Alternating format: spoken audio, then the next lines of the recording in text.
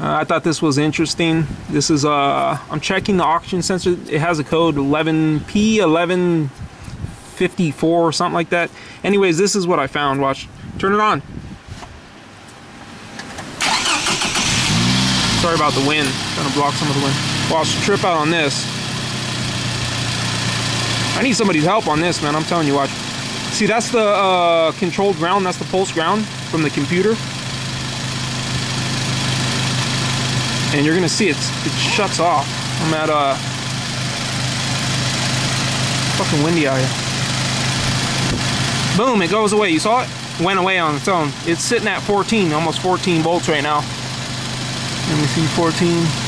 Yeah, it's sitting at 14. You got 5, 10, 14.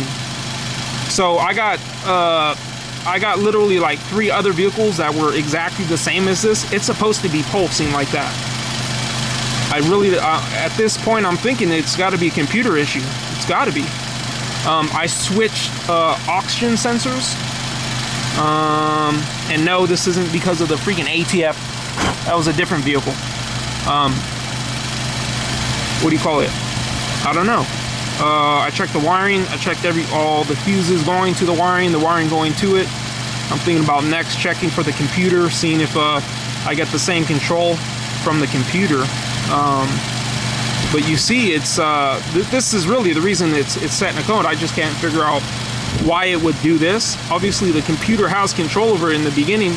Maybe it's over amping, amp, amping, and it's shutting it down or something.